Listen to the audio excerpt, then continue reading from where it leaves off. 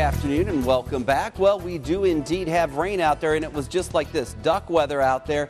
Jim Whitfield shot this for us out of Huckleberry Park down there in Hannibal, and uh, the weather went afoul today, folks. It really did. You know what I'm saying? We had the rain, we had the cold temperatures, the clouds, and I'll stop with all the bad puns now and just tell you the weather. It, uh, you know, it's been sort of a clammy kind of day, though. And we're going to see the chance for rain. Well, that's going to continue for the next few days. It's dark out there. Look at this shot here. Wow, it's sort of ominous here. We've got low clouds.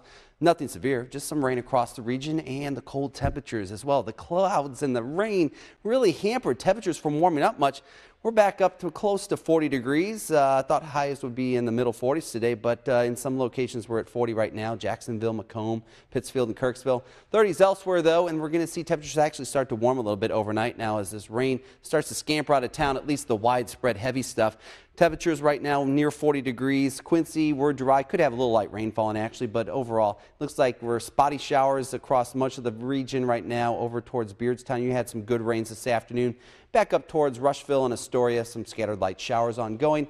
The northern part of the viewing area here looks like east of Nauvoo, back over towards La Harpe and east of Carthage, moving into parts of McDonough County and around Macomb, some rain showers as well. So that's going to be the pattern for the next several hours. Temperatures are about five degrees cooler than they were last night at this time. So uh, we're going to work on those temperatures and the wind chill values with the wind out there. It feels more like 30 degrees in Quincy, and it was just sort of a blustery kind of day out there with the raindrops flying around as well. Rain chances will continue through tonight on into tomorrow. Cloudy and cool weather on tap for the end of the work week. And then for the weekend, we're going to be chilling out. Arctic air is going to move down. We're going to see temperatures well, they're going to fall into the 20s for highs on Saturday and Sunday. Cloudy skies, 36 degrees right now. Feels more like 29 out at the airport with a southeast breeze at 9 miles an hour.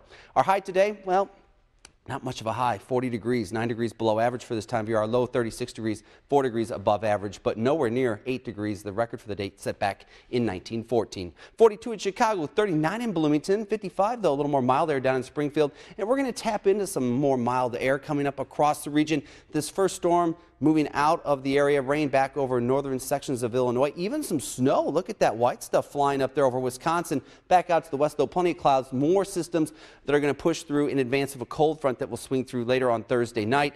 Right now, clouds and showers moving generally south and east of the tri-states. We're going to keep the light rain chance, though, on through the evening hours. Put the maps into motion. Here's what the forecast in motion shows. More chances of rain as we go on through tonight into tomorrow. We'll see the chances increasing across the region, especially during the day tomorrow. Rain chances likely across Quincy and the tri-states. No real heavy downpours, but some moderate steady rain will be likely.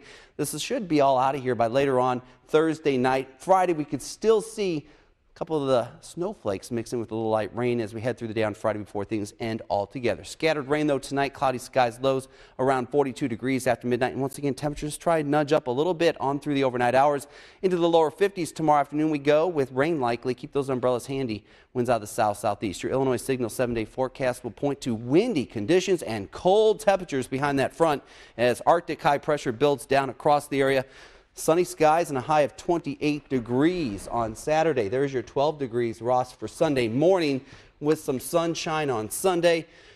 We'll still see temperatures fighting hard to get up through the 20s, uh, going 28 right now for a high on Sunday. We warm it into the lower 40s by Monday. So the weather went afoul, huh? It sure did, man. and so did my bad joke telling or well, pun hey, telling. I give you, you credit for trying. I did. I, think, I, I think I succeeded. It was just bad. A gloomy day, you try to lighten it up. I, I appreciate that.